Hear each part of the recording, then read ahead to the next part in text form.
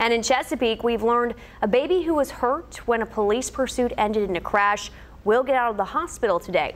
Police say a woman who is also hurt still hospitalized but stable. Police say they were trying to pull over a different car near Freeman Avenue yesterday afternoon. The driver didn't stop and led officers on a chase before crashing into that woman's car on George Washington Highway.